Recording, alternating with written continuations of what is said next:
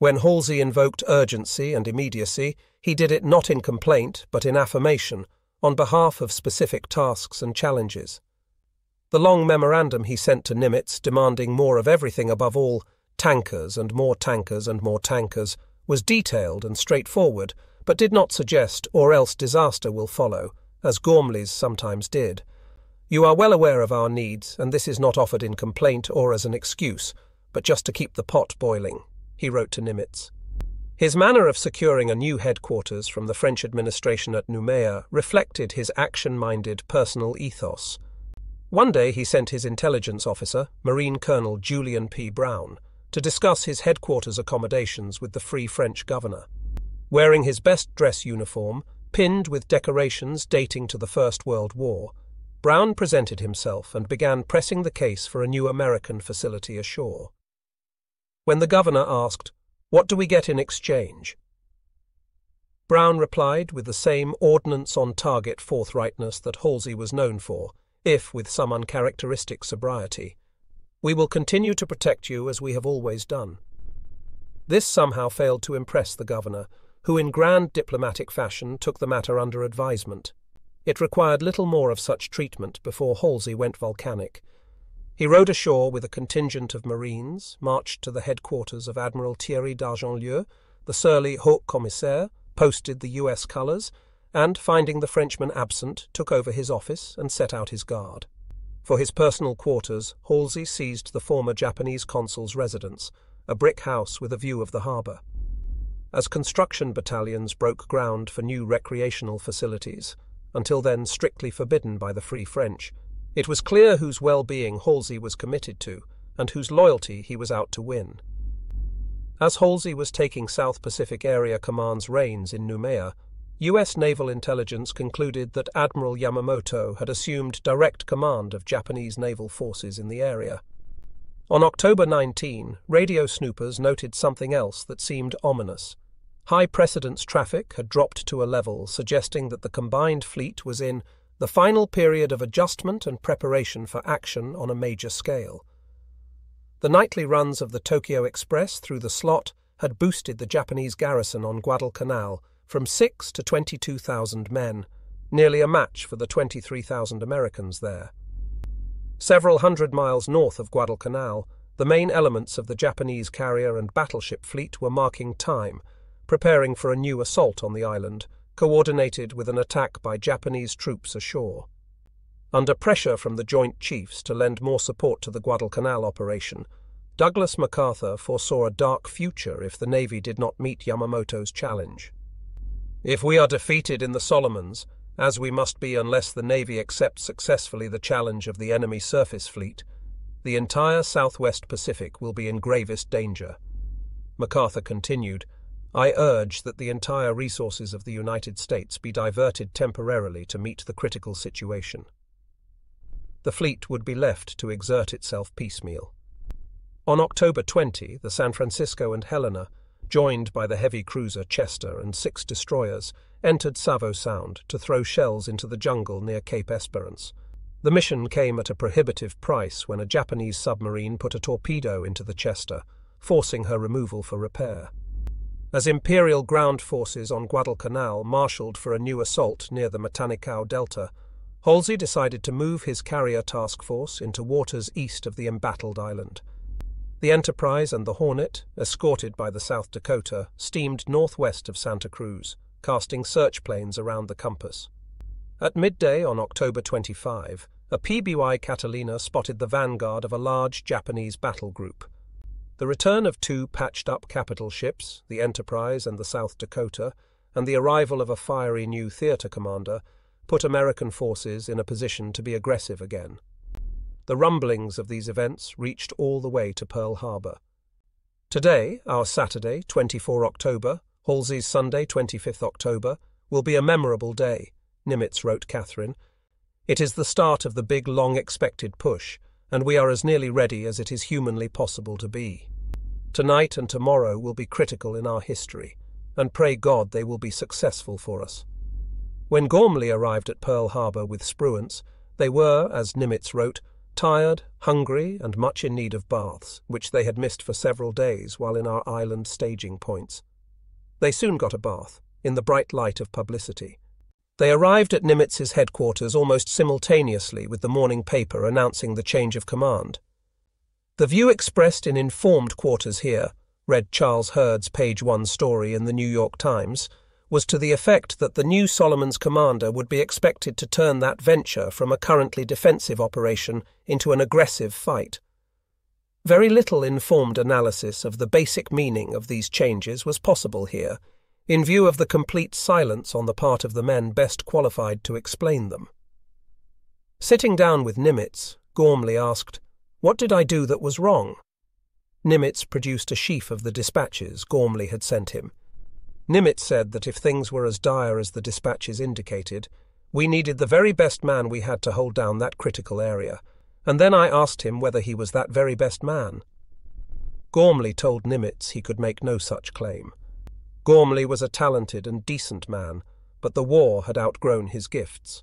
Writing Nimitz, Secretary Frank Knox was critical of the outgoing commander, referring to his complete lack of offensive use of our surface craft until Norman Scott's very successful raid north of Savo Island.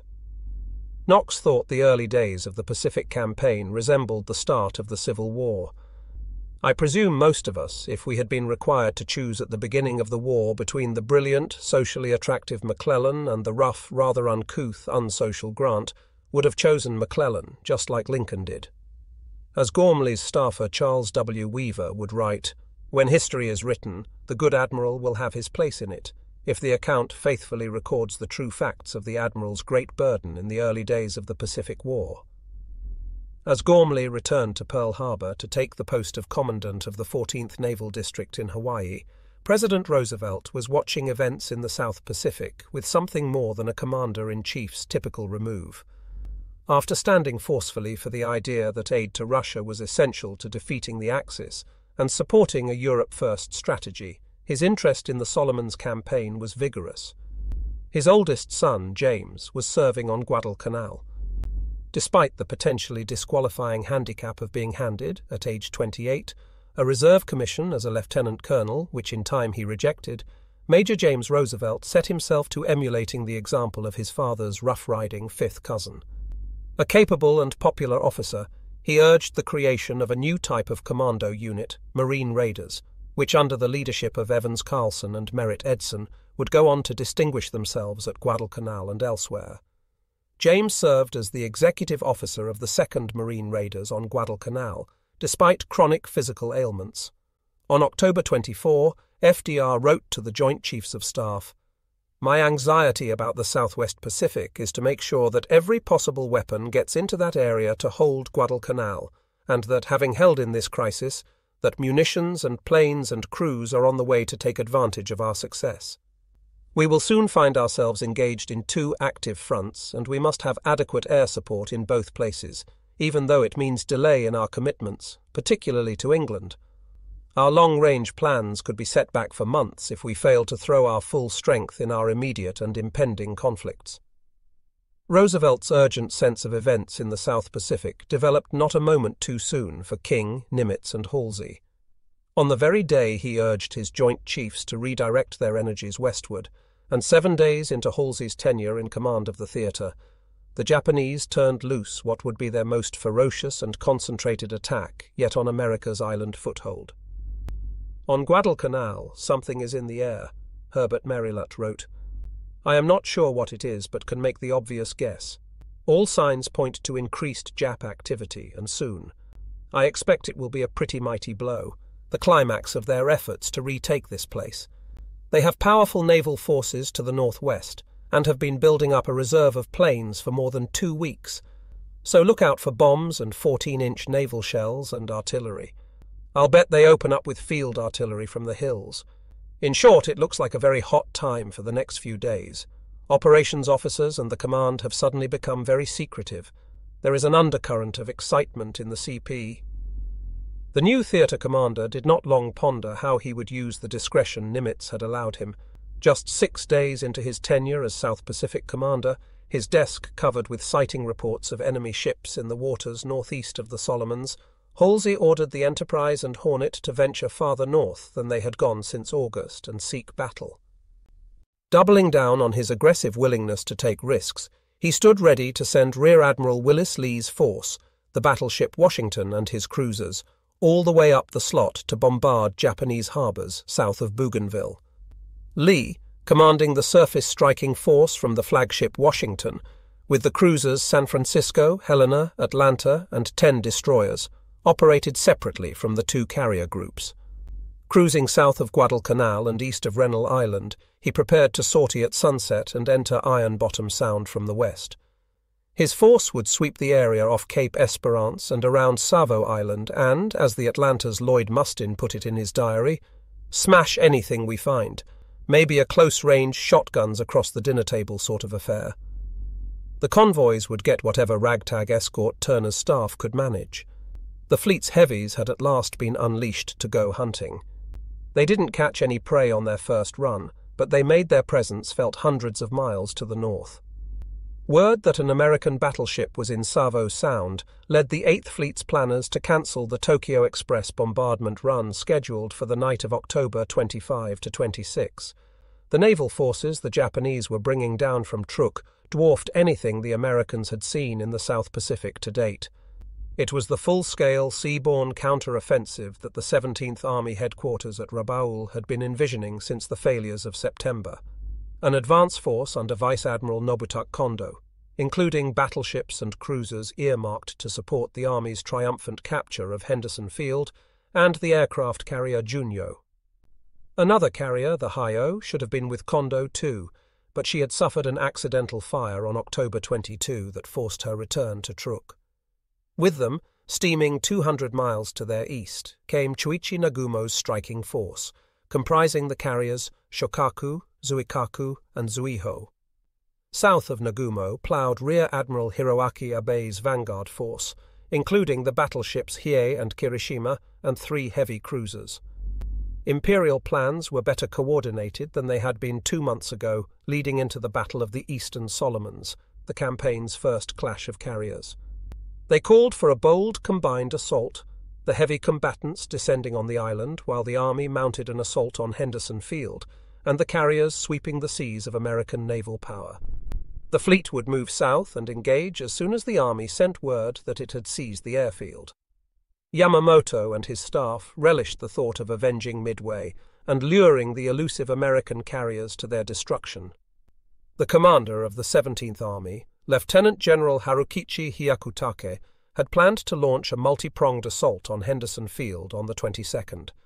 Personally commanding the Japanese forces there, consisting of the 2nd Sendai Division, two battalions of the 38th Division, some survivors of Ichiki's and Kawaguchi's forces, as well as a regiment and three batteries of heavy field artillery, two battalions and one battery of field anti-aircraft artillery, one battalion and one battery of mountain artillery, a mortar battalion, a tank company, and three rapid fire gun battalions. Hyakutake began assembling his units and preparing to send them into position as soon as they piled ashore from the transports. The assault would begin with a diversionary artillery barrage from forces massing in the west, across the Matanikau River. The main assault, undertaken by the Sendai Division marshalled in the tangled jungle south of Henderson Field, would follow. Still underestimating US troop strength on the island, an intelligence report in late September pegged Vandegrift's garrison at 7,500 men, well below half its actual number. Hyakutake apparently remained as cocksure of his success as he had been on the day he ordered Colonel Ichiki's detachment to its slaughter. From their positions on the west side of the Matanikau River, Japanese heavy artillery began firing on Henderson Field, and the Diversionary Infantry Regiment tried to make its presence known to the Americans. With the preliminaries still underway, Hyakutake's staff radioed a confident message to 17th Army headquarters at Rabaul. The victory is already in our hands. Please rest your minds. He instructed his aides to begin planning for an American surrender. Words were words. The Japanese Navy wanted deeds. Frustrated by the Army's delays, and with Yamamoto threatening to haul the fleet back to Truk to refuel if ground commanders didn't get on with things, Kondo and Nagumo maintained course. As the Imperial Japanese Army was stalking the jungles surrounding Henderson Field, torrential rains engulfed the island, and then it was over, or so claimed a dispatch that reached the Yamato, moored at Truk that night. It was after 1:30 a.m. on the 24th when the telegram was given to Admiral Ugaki as he was meditating by moonlight on the weather deck. It was a dispatch from the 17th Army proclaiming 23 Banzai. A little before 23, the right wing captured the airfield. This settled everything, Ugaki wrote. He exhorted to his diary, March all forces to enlarge the result gained. Hesitation or indecision at this moment would leave a regret forever. And so the fleet pressed on. The announcement of the airfield's conquest led Vice Admiral Mikawa to send in the light cruiser Yura and several destroyer divisions to blockade the shore and bombard in support of the advancing Imperial Army. Later that morning, American planes from Henderson set upon the Yura, the 17th Army's claim to have captured the airfield notwithstanding. The ship took a bomb from an SBD, as did a destroyer. Later that afternoon, another flight of dive bombers, joined by half a dozen B 17s, let fly against the wounded ship, which had to be scuttled. Though the Americans had little sense of where the Japanese ground forces were located, the mustering of the Sendai Division had gone undetected by US ground patrols and search planes in the thick jungle south of Lunga Plain. American units were well positioned, with a perimeter divided into five regimental sectors. General Vandegrift would not be present for the coming assault on his perimeter. Urged by General Thomas Holcomb, the Commandant of the Marine Corps, who had picked an inopportune time to inspect Cactus, Vandegrift had travelled to Noumea to confer with Halsey. General Geiger, Vandegrift's aviation deputy, took temporary command of U.S. forces on the island. On the night of October 23 to 24, the Japanese offensive began with a diversionary attack from the west across the Matanikau River. American artillery smashed up the leading wedge of tanks. The next night, south of the high ground recently named Edson's Ridge, just half a mile from the airstrip, elements of the Sendai Division sent two powerful forces at Henderson Field. Each consisted of three rifle battalions, and with three more in reserve, the Japanese plan envisioned a powerful two pronged surge toward the airfield. Owing to fatigue, confusion, and poor communications, the attack was launched piecemeal. Conceived in general contempt for their enemy, the Japanese attack followed the same routes as a disastrous September assault. On toward Edson's Ridge, the Japanese charged now, poorly coordinated and straight into a murderous enfilade of artillery and rifle fire. Colonel Chesty Puller's 700 man battalion from the well seasoned 7th Marines joined with a battalion of the newly arrived 164th Infantry under Lieutenant Colonel Robert Hall, put up a stout defence despite their lack of advance warning on enemy preparations. When the pup, pup, pup of small arms fire finally faltered and died in the pre dawn hours of October 25, the first assault had failed. The 17th Army's announcement that it captured the airfield might have been a deep misapprehension. It might even have been a lie. But on came the Japanese fleet. Encouraged by false reports of the Army's progress, Kondo and Nagumo kept their prows aimed south, searching for Halsey's fleet while standing by to hit Henderson Field, too. Their carrier planes were reporting nothing but empty expanses of ocean. The land based planes of the 11th Air Fleet, flying from Buin and Rabaul, made several sightings of Admiral Lee's Washington task force near Rennell Island, but the American Heavy was too far away for Japanese aircraft to reach her. A superior Japanese force was advancing on bad intelligence. What result would flow from it was an imponderable that only another deadly trial by fire would solve. Chester Nimitz had developed a general approach for confronting a superior enemy. Having inferior forces, he wrote early in the campaign, we must count heavily on attrition but losing no chance to come to grips with the enemy under the principle of calculated risk. Still, the principle's requirements were far from clear. How does one calculate, and what does one risk? A doctrine so subjective offered little decision guidance at all. Its spirit was not prescriptive, it was merely advisory. But this seemed to be the American way of war. Commanders since the Revolution had enjoyed the freedom to act on their best personal initiative. This flexibility and discretion was the gift and the burden that Nimitz always bestowed upon his commanders. Admiral Halsey was free to act on his instinct now, while Japanese scout pilots were revealing to their astonished command that Henderson Field, contrary to dispatches, had not been seized, Willis Lee's surface striking force, including the Washington and the heavy cruiser San Francisco, marked time about 30 miles east of Rennell Island, ready to run north for a sweep of Savo Sound. On the 24th, Rear Admiral Norman Scott was transferred from the San Francisco to the anti aircraft cruiser Atlanta. His new flagship would soon be detached from Lee's Task Force 64 and, leading a striking force of destroyers, be thrown directly into the fight for Guadalcanal. Meanwhile, Halsey's two carrier groups, Task Force 16, with the Enterprise and South Dakota and Task Force 17, with the Hornet and a quartet of cruisers, under the overall command of Rear Admiral Thomas C. Kinkaid, moved toward the suspected location of the Japanese carrier fleet as if by the attraction of gravity.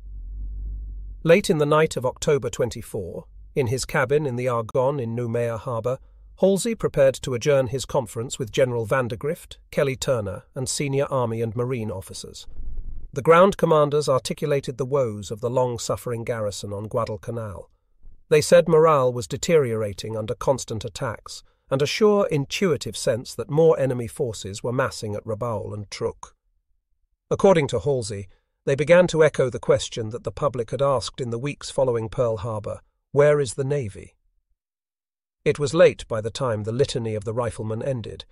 Halsey asked Vandegrift and Major General Millard F. Harmon, the senior U.S. Army officer in the South Pacific, Are we going to evacuate or hold?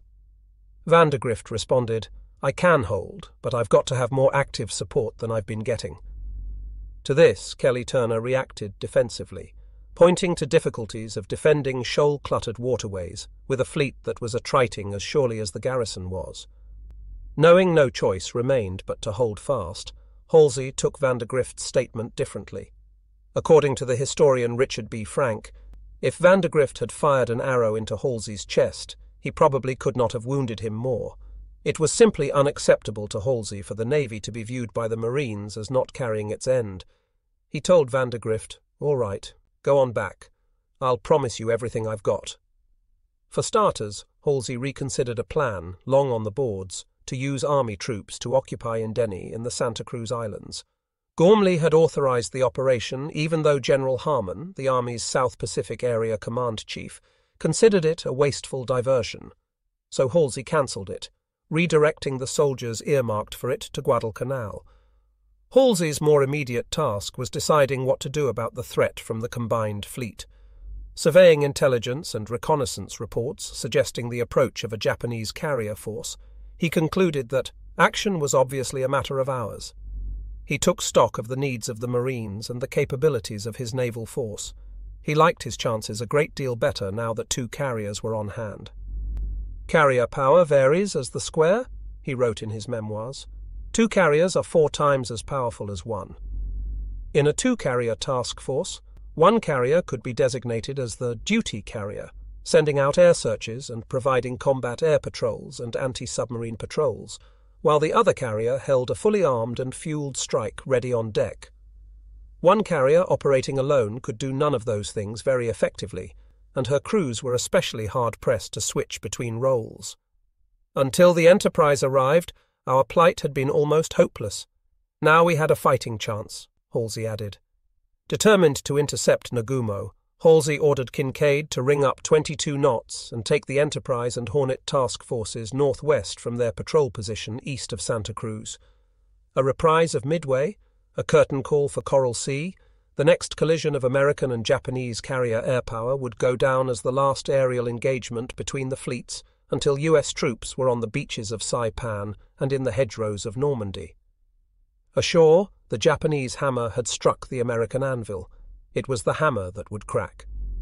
The fleets, meanwhile, prepared for their own reckoning. Just before midnight on October 24, as his marines ashore were battling the Japanese assault, Halsey radioed his principal naval commanders, Kinkaid and Lee, with a galvanizing message that would echo through the passageways and compartments of every ship in the South Pacific Force.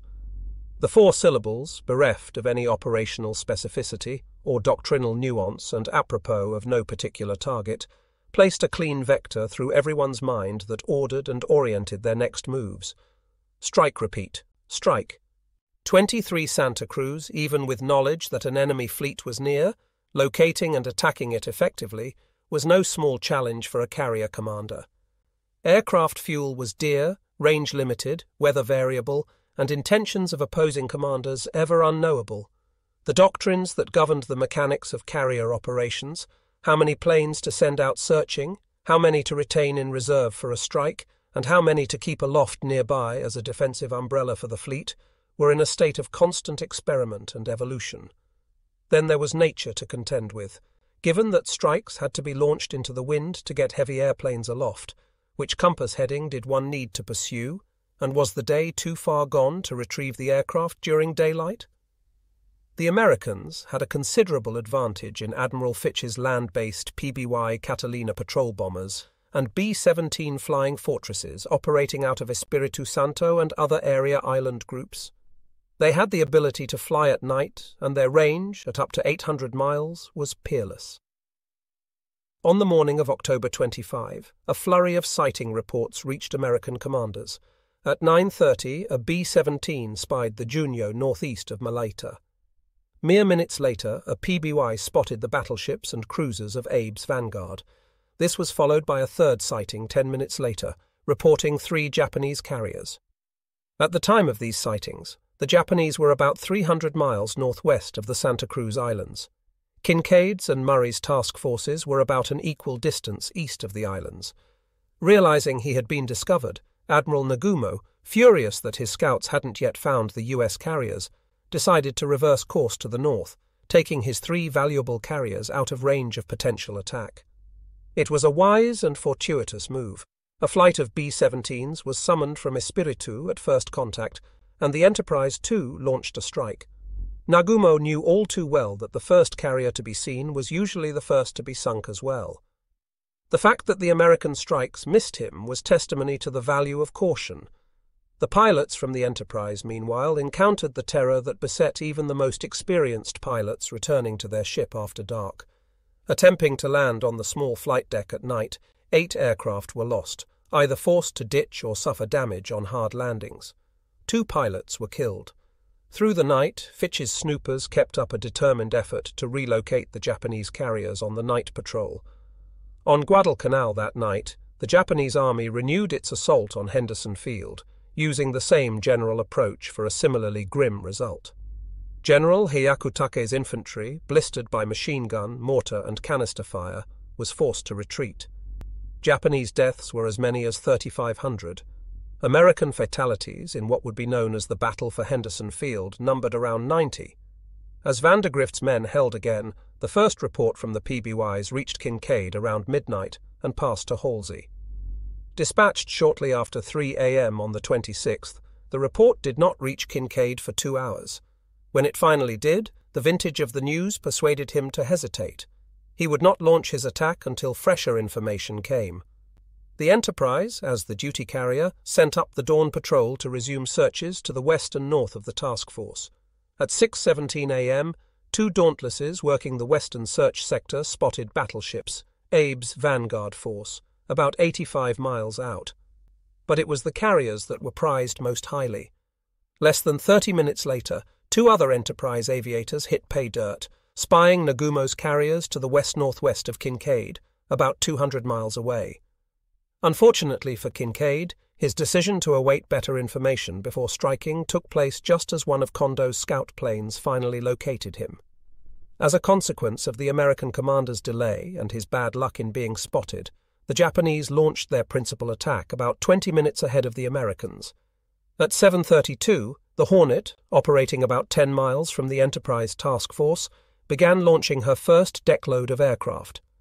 Because Kondo was heading southeast, directly into the wind, whereas Kinkaid's carriers were steaming with the wind and thus had to reverse course into the wind in order to launch or recover aircraft, the Japanese were quicker on the draw by about 30 minutes. By 740, 64 Japanese planes, a nearly even mix of Kate torpedo bombers, Val dive bombers, and Zero fighters from the Shokaku, Zuikaku, and Zuiho, were airborne and outbound. The American scout pilots who spotted Nagumo's carriers were quickly intercepted and driven into the clouds by the enemy combat air patrol. Two other Enterprise Dauntlesses heard the sighting report, navigated to locate the enemy fleet, and winged over into steep dives. Targeting the light carrier Zuiho, Lieutenant Stockton B. Strong and Ensign Charles B. Irvine planted a 500 pound bomb into the after part of her flight deck.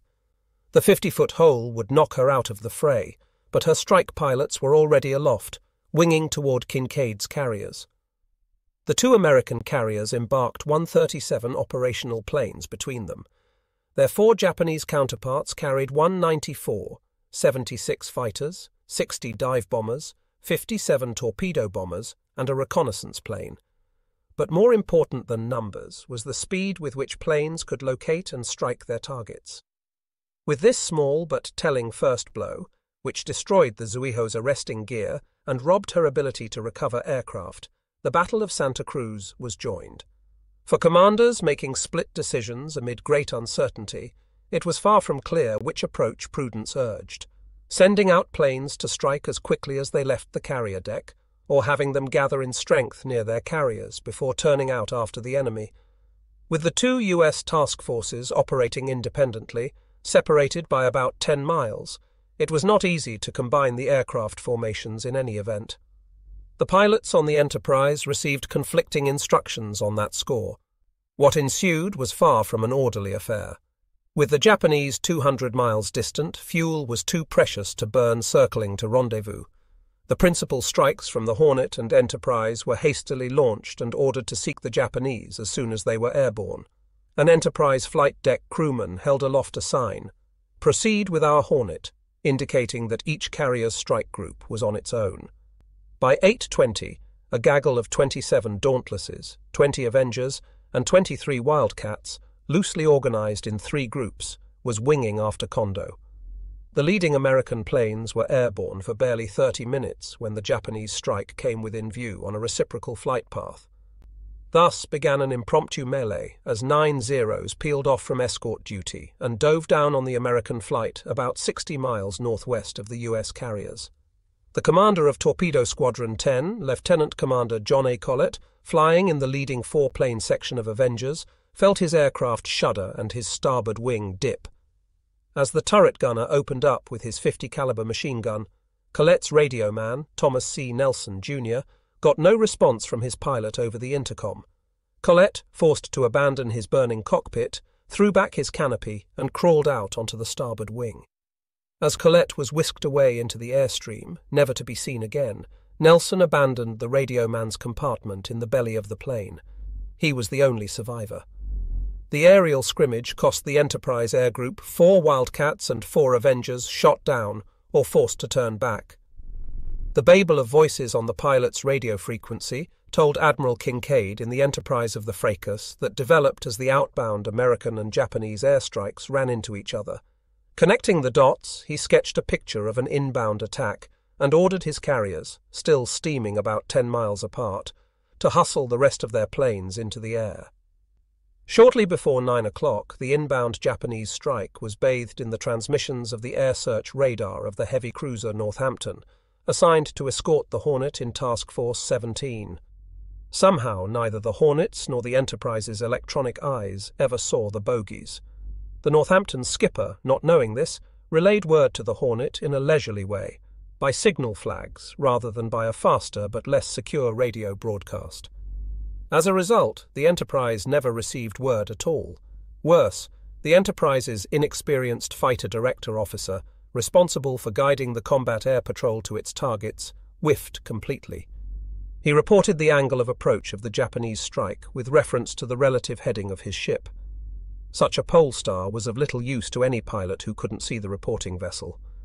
And so on that cloudy day, most of the 37 Wildcat jockeys flying combat air patrol failed to intercept the attack before it was already over their carrier. Fortunately for the Enterprise, she found concealment in a rain squall. As a result, the first Japanese airstrike fell on the perpetrator of the Doolittle raid, the Hornet. As the Hornet's outbound strike group left its task force behind, some of the pilots saw the black puffs of flak dotting the skies behind them. That's when they knew the Japanese had found their ship. A flight of 21 Val dive bombers from the Zuikaku, under command of Lieutenant Sadamu Takahashi, were the first to attack the Hornet. Two other Enterprise Dauntlesses heard the sighting report, navigated to locate the enemy fleet, and winged over into steep dives. Targeting the light carrier Zuiho, Lieutenant Stockton B. Strong and Ensign Charles B. Irvine planted a 500 pound bomb into the after part of her flight deck. The 50 foot hole would knock her out of the fray, but her strike pilots were already aloft, winging toward Kinkaid's carriers. The two American carriers embarked 137 operational planes between them. Their four Japanese counterparts carried 194, 76 fighters, 60 dive bombers, 57 torpedo bombers, and a reconnaissance plane. But more important than numbers was the speed with which planes could locate and strike their targets. With this small but telling first blow, which destroyed the Zuiho's arresting gear and robbed her ability to recover aircraft, the Battle of Santa Cruz was joined. For commanders making split decisions amid great uncertainty, it was far from clear which approach prudence urged sending out planes to strike as quickly as they left the carrier deck, or having them gather in strength near their carriers before turning out after the enemy. With the two U.S. task forces operating independently, separated by about 10 miles, it was not easy to combine the aircraft formations in any event. The pilots on the Enterprise received conflicting instructions on that score. What ensued was far from an orderly affair. With the Japanese 200 miles distant, fuel was too precious to burn circling to rendezvous. The principal strikes from the Hornet and Enterprise were hastily launched and ordered to seek the Japanese as soon as they were airborne. An Enterprise flight deck crewman held aloft a sign, Proceed with our Hornet, indicating that each carrier's strike group was on its own. By 8.20, a gaggle of 27 Dauntlesses, 20 Avengers, and 23 Wildcats loosely organized in three groups, was winging after Kondo. The leading American planes were airborne for barely 30 minutes when the Japanese strike came within view on a reciprocal flight path. Thus began an impromptu melee as nine Zeros peeled off from escort duty and dove down on the American flight about 60 miles northwest of the U.S. carriers. The commander of Torpedo Squadron 10, Lieutenant Commander John A. Collett, flying in the leading four plane section of Avengers, felt his aircraft shudder and his starboard wing dip. As the turret gunner opened up with his 50 caliber machine gun, Collett's radio man, Thomas C. Nelson, Jr., got no response from his pilot over the intercom. Collett, forced to abandon his burning cockpit, threw back his canopy and crawled out onto the starboard wing. As Collett was whisked away into the airstream, never to be seen again, Nelson abandoned the radio man's compartment in the belly of the plane. He was the only survivor. The aerial scrimmage cost the Enterprise Air Group four Wildcats and four Avengers shot down or forced to turn back. The babel of voices on the pilot's radio frequency told Admiral Kinkaid in the Enterprise of the Fracas that developed as the outbound American and Japanese airstrikes ran into each other. Connecting the dots, he sketched a picture of an inbound attack and ordered his carriers, still steaming about ten miles apart, to hustle the rest of their planes into the air. Shortly before nine o'clock, the inbound Japanese strike was bathed in the transmissions of the air search radar of the heavy cruiser Northampton, assigned to escort the Hornet in Task Force 17. Somehow, neither the Hornet's nor the Enterprise's electronic eyes ever saw the bogies. The Northampton skipper, not knowing this, relayed word to the Hornet in a leisurely way, by signal flags rather than by a faster but less secure radio broadcast. As a result, the Enterprise never received word at all. Worse, the Enterprise's inexperienced fighter director officer, responsible for guiding the combat air patrol to its targets, whiffed completely. He reported the angle of approach of the Japanese strike with reference to the relative heading of his ship. Such a pole star was of little use to any pilot who couldn't see the reporting vessel. And so on that cloudy day, most of the 37 Wildcat jockeys flying combat air patrol failed to intercept the attack before it was already over their carrier. Fortunately for the Enterprise, she found concealment in a rain squall. As a result, the first Japanese airstrike fell on the perpetrator of the Doolittle raid, the Hornet. As the Hornet's outbound strike group left its task force behind, some of the pilots saw the black puffs of flak dotting the skies behind them. That's when they knew the Japanese had found their ship. A flight of 21 Val dive bombers from the Zuikaku under command of Lieutenant Sadamu Takahashi, were the first to attack the Hornet. To the dismay of the carrier's crew, half of her powerful 5 inch anti aircraft battery was effectively disabled when the young officer who supervised the after 5 inch battery drove the guns into the stops, freezing them in a horizontal elevation just as the first enemy dive bomber appeared overhead. Believe you me, the gun captains took this very, very personal. All his training, everything, right out the window, gunner's mate, first class, Alvin Gran, remembered. Five of our most lethal guns now sat with their barrels locked in place. They would have made mincemeat out of that plane. As the Wildcats on combat air patrol tangled with the escorting Zeros, the Japanese dive bombers concentrated on their target, hitting the Hornet with three bombs. A Val struck by anti aircraft fire fell burning and crashed into the island superstructure in a wash of flames. The plane penetrated several decks, spreading fire as it went, straight down into a squadron ready room one deck below the flight deck. Its 500 pound bomb was found later, unexploded and rolling around in a passageway outside.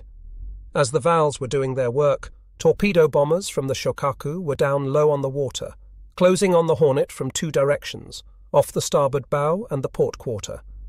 The textbook anvil attack would expose the carrier to torpedoes from one group of Kates or the other, no matter which way she turned. In short minutes, two torpedoes were crashing into the carrier's starboard side, flooding both fire rooms and snuffing out her propulsion and power. The time was 9.15 m several hundred miles to the north. Admiral Nagumo was in no place to celebrate. Overhead, pilots from the Hornet's two Dauntless equipped squadrons had found his carriers. As the commander of Scouting Squadron 8, Lieutenant Commander William Gus Widhelm, surveyed the fleet below, four Zeros from the Shokaku piled in to intercept. Cagey and determined, the American dive bombers, no match for Japanese fighters in air to air combat, avoided the slashing head on passes and high side runs of the Japanese combat air patrol. When the leader of the Japanese fighter section dove on Widhelm from 12 o'clock high, the American pulled back his stick and turned loose with his 50s. If a dive bomber seldom beat a fighter in an aerial duel, a veteran could occasionally pick his spot the converging planes were just a short football field apart when the Zero's engine caught fire and exploded. Widhelm flew through the debris and continued closing with the Shokaku ahead. As Zeros and Dauntlesses engaged in their murderous dance, a Japanese pilot lined up Widhelm's plane and pulled a burst from his 20mm cannons. As Widhelm's squadron mates were hurtling down upon the Shokaku in 70 degree dives, heads hunched forward peering into their bomb sights, dive brakes gripping the air. It was a sure mark of their spirit that as Widhelm's engine coughed smoke and died, his comrades found their hearts on fire listening to his Navy grade cussing about the lack of effective help from the Hornet's fighters as he guided his smoking aircraft into the sea. Surviving the crash landing, Widhelm would be left to observe the exploits of his comrades from a bobbing yellow life raft. It wasn't long before Lieutenant James E. Mo Vose the leader of the Hornet's second flight of Dauntlesses from Bombing Squadron 8, found Nagumo's carriers. Radioing a sighting report, they pushed over on the Shokaku and piled in. Dauntlesses, flying search or scouting missions, carried a half sized 500 pound bomb, the better to extend their range. Dauntlesses, armed for strikes, carried a thousand pound egg. Vose's aviators were loaded for bear. As they dove down on the speeding, swerving Shokaku, the veteran of the Pearl Harbor attack gamely skidded out of the path of the first three or four big bombs. The next few, all of them thousand pounders, scored heavily, shattering the carrier's flight deck and destroying her center elevator. By 9:30, with fires sweeping through her hangar deck, the Shokaku was no longer capable of flight operations. She could still make 31 knots, but she, like the Zuiho before her, was out of the fight. The heavy cruiser Chikuma, less valuable than the Shokaku but an important naval asset nonetheless, took a couple of bombs from Hornet Bombing Squadron 8 aviators and two near misses from Enterprise Dauntless jockeys, and was left battered and burning but navigable, with almost 200 dead. Thirty minutes after the US attack pilots first set upon their targets, they were finished with their attacks and bound for home. During the lull that followed the first attacks on the Hornet, the Northampton manoeuvred to take the crippled carrier under tow. Several miles away, in Task Force 16, Admiral Kinkaid learned of the Hornet's ill fortune when the word reached him that his flagship, the Enterprise, was to land all returning planes, including those from the Hornet. The Big E was preparing another airstrike at the time, her ordnance men loading bombs onto racks, pulsing fuel hoses everywhere. If an enemy attack arrived in that vulnerable window, it could be disastrous. As it happened, it was an American plane that drew first blood from the Enterprise task force. It was the fluky kind of thing that only seems to happen in wartime. Just before 10 a.m., the pilot of a damaged Avenger was waved off from his first approach on the Enterprise. Unable to circle for another landing attempt, he ditched near the destroyer Porter. As he and his crew scrambled into the life raft, the destroyer approached them and stopped. The deck force was preparing to take the flight crew aboard when a lookout yelled, Torpedo wake on the port bow! Pilots overhead spotted the missile, tracing a counterclockwise circle ahead of the Porter. They dove down and made two strafing passes in an effort to detonate the weapon short of the ship, but onward it churned, finally striking portside amidships. The blast killed 15 sailors and left the ship fit only for scuttling though another destroyer would report a suspicious periscope as she was maneuvering to recover survivors. In fact, the torpedo had come from the very plane that the Porter was racing to save. It jarred loose on impact with the water. Just minutes later, the Japanese strike reached the Enterprise group. From high above the 6,000 foot cloud ceiling, from astern the Enterprise, fell a waterfall of VALs, unopposed by US fighters. The newly outfitted South Dakota, the heaviest ship in the Enterprise's screen, joined by the anti aircraft cruiser San Juan and the heavy cruiser Portland, put up a staggering volume of fire. As each plane came down, an American pilot reported, a veritable cone of tracer shells enveloped it. You could see it being hit and bounced by exploding shells. Radar directed 5 inch gunfire was lethal, the South Dakota and the San Juan led the screen in downing a total of 32 enemy planes bearing down on Task Force 16. An officer on the Juneau was stunned by the paltry number of aircraft that returned. The planes lurched and staggered onto the deck, every single fighter and bomber bullet holed. As the pilots climbed wearily from their cramped cockpits, they told of unbelievable opposition, of skies choked with anti aircraft shell bursts and tracers. A bomber squadron leader would return to the Juneau, so shaken that at times he could not speak coherently. But no defense could be perfect. Between 1017 and 1020, the Enterprise took three bombs through her flight deck. It was only by deft ship handling that her new captain, Osborne B. Hardison, who had replaced Captain Arthur C. Davis just three days before the battle, evaded the deadlier missiles released by the torpedo planes. Good work by firefighting and damage control crews prevented the bomb explosions from burning the carrier beyond salvation. At 10:20, a pilot returning from attacking the Japanese fleet crash-landed his damaged Avenger near the South Dakota, mistaking the aircraft's stout cylindrical fuselage for a surfacing submarine. Gunners on the battleship and nearby destroyers took the plane under fire. The destroyer Preston, maneuvering to rescue the pilot and his crew, had to veer away to escape being raked by fire from the battleship's secondary guns. No feat of ship handling that day surpassed the one turned in by the captain of the destroyer Smith. During the air attack, a stricken Japanese torpedo plane, hotly pursued by a wildcat, fell smoking toward the ship and crashed into her forecastle.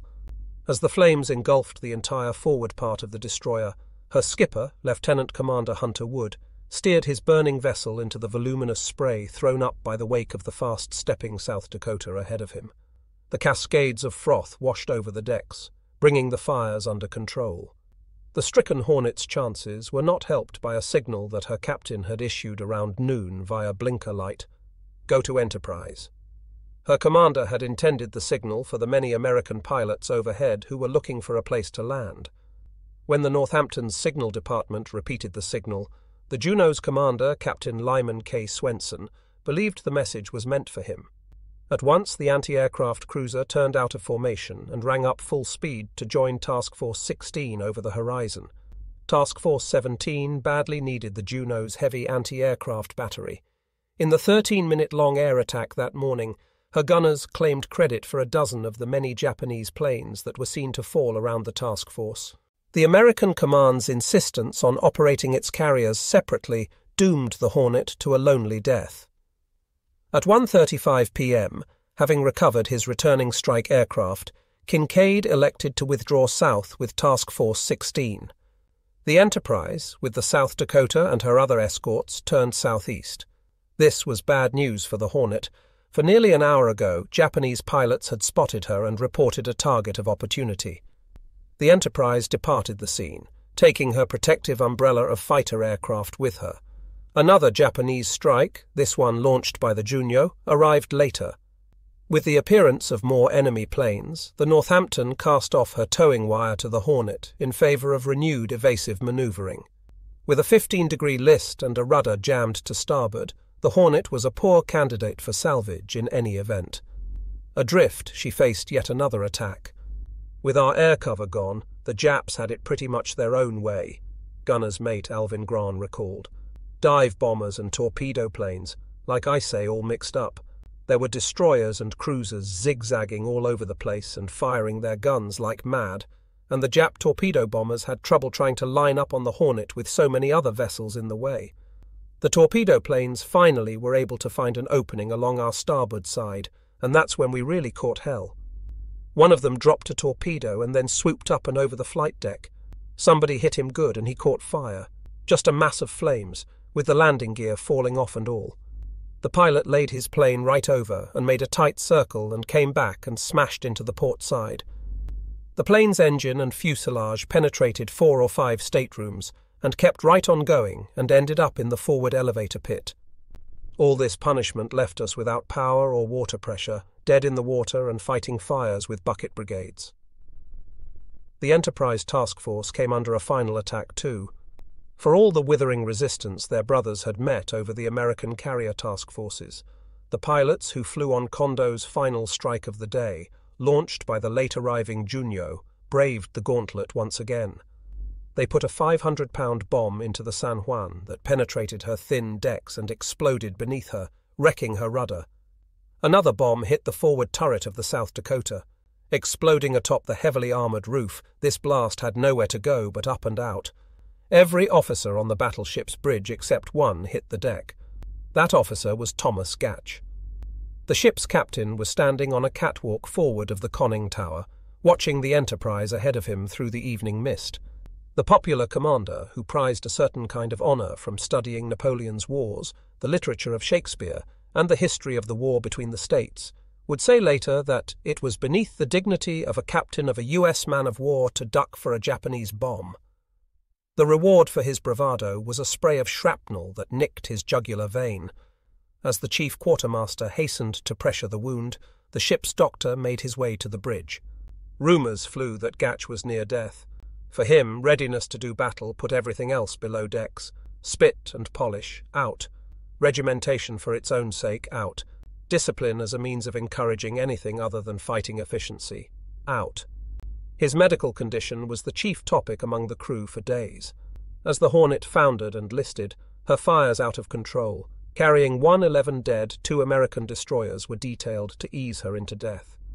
The Mustin and the Anderson trained out their torpedo batteries on the carrier and fired, but each failed to put her under. The destroyers then turned to their guns, popping five inch rounds into the Hornet's waterline. After several hundred rounds, her fires were all the hungrier, but still she refused to go. It was after the Americans had left her to the night, around 1:30 a.m., with fires raging so badly that she would be of little use even if the Japanese seized her as a war prize, that Kondo's men of war closed with the hulk. It was Japanese destroyers that finally put the Hornet under with their torpedoes. The foregoing, evidently, was enough drama for one day. Disliking his chances with one damaged flat top against two unscarred enemy carriers, the Zuikaku and Junyo were at large and dangerous, and he knew nothing of the shredded state of their air groups. Kinkaid continued retiring. He would face stern second guessing for his decision to abandon the Hornet. Rear Admiral Hiroaki Abe, the commander of the vanguard force, would be censured for caution too. He elected not to pursue Kinkaid's withdrawing Enterprise task force as night fell on October 26. The decision couldn't have been for lack of motivation. He had been present at the Battle of Cape Esperance, where his lifelong friend Aritomo Goto had fallen.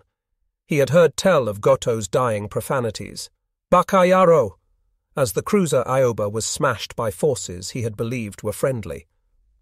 As their ship slugged south in the company of the battered Enterprise, the crew of the South Dakota turned to the ceremonies by which they honoured their dead. After dark, Captain Thomas Gatch ordered the engines slowed and came to a stop so that a proper burial at sea could be conducted for her first two dead. The night was black, and a feeling of gloom pressed down like a weight. The chaplain, Commander James V. Claypool, kept a strong grip on the belt of the nearest pallbearer lest he stumble and fall overboard as he intoned the words, Forasmuch as the spirit of the departed has returned to God who gave it, we therefore commit his body to the depths of the sea. Captain Gatch was below decks, and for all the celebrants knew he might well be next off the slab. Untold hundreds of men lay dead on other ships or were already within the sea's embrace. As the South Dakota's attending crew performed the committal, Raising one end of the burial slab so that the bodies could slide into the sea, Claypool read the benediction. May the Lord bless thee and keep thee. As he spoke, the moon shone through a break in the clouds, illuminating the decks of the great ship. Claypool thought it was a signal of immortality awaiting all who believed. The South Dakota had taken aboard the survivors of the Porter. The destroyer lost that day to the crashing Avenger's wayward torpedo. The survivors were given clothes, smokes, bedding, and anything else they needed. Several of that ship's engine room crew, badly burned in the fire from the torpedo, died in the battleship's sick bay. The captain of the Porter asked Claypool to do the rites as the destroyer's crew gathered aft. In their borrowed clothes, they stood in a horseshoe on the fantail of our ship, listening to the words of hope and love spoken by our Lord Jesus Christ. They wiped away tears with the sleeves of their dungarees but they left the burial service with shoulders straightened and heads high. Watching them, I thought I heard a bugle sounding the thrilling Navy call. Carry on, Claypool wrote. When the ship returned to Noumea after the October 26 battle, the wounded men sent away to hospital ships begged to be allowed to return, but only if Gatch remained in command. Was he alive? They wanted to know. All too well, the South Pacific Area Command Medical Corps would tell them. He was said to be a difficult patient. Chaplain Claypool kept him on the straight and narrow. Gatch followed a British tradition that required the captain to read the scripture lesson at Mass. The captain's faith no doubt empowered his chaplain, who thought that organised religion was a natural thing for a navy to promote. Men have to have something in their heads, he would write. If they don't have religion, superstition rushes to fill the vacuum. They don't stand up under fire. In the Navy, we take along religion as we take along ammunition. The South Dakota had loaded that particular magazine to capacity while en route to the theatre. Crossing the international date line, Claypool was pleased to find himself with back to back Sundays, thanks to the change in time zones. The Japanese wasted no time making the most optimistic claims about the performance of their flyers that day. I wish we had as many carriers as they claim to have sunk, Nimitz wrote to Catherine the following day. But no tall tales were needed to claim a material victory. Numerically or tactically, it was a Japanese victory. Tamichi Hara, an IJN destroyer captain, would write, echoing American opinion at least with respect to ship losses. The Americans had entered the fray with a tactical and psychological advantage, but complacence had cost them a high price. The enemy was able to strike at times and places of his choosing. To his surprise, the head and tail of the Japanese opponent were versatile and flexible, contrary to Midway, and they struck back effectively with what force they had. Though the losses of aircraft were about equal, 97 Japanese planes were lost against 81 US. It was in personnel casualties that America gained its most striking, if seldom appreciated, victory. In Japan's first concentrated exposure to state of the art anti aircraft fire, 148 pilots and aircrew died, a third more than at Midway. Fully half of Nagumo's dive bomber flight crews were lost. American squadrons suffered 20 dead on the day, plus four more rescued by the enemy and taken prisoner. The leadership in the IJN's squadron ready rooms took a severe blow. 23 squadron and section leaders were lost. By sundown that day, more than half of the pilots who had hit Pearl Harbor on December 7th had been killed in action. The carriers Zuikaku and Junyo, though not seriously damaged, were forced home to Japan for want of men to fly their planes. With the evisceration of its naval air crews, the Japanese suffered a critical deficit that they would never make up. Captain Hara's assessment was a profound understatement. Considering the great superiority of our enemy's industrial capacity, we must win every battle overwhelmingly. This last one, unfortunately, was not an overwhelming victory. The battle took a heavy toll from the Japanese carrier force, and also from its long-time commander, Chuichi Nagumo. Haggard and old, appearing to friends to have aged twenty years in less than a year of action, Nagumo was relieved in command of the carrier striking force by Jisaburo Ozawa, a destroyer man whose abilities as a task force commander were unknown to his peers.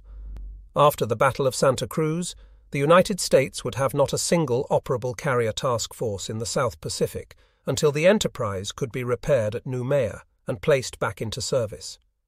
Task Force 17 was dissolved with the sinking of the Hornet, and with the Enterprise going to the yard for repairs, the South Dakota was sent to join the Washington in Task Force 64.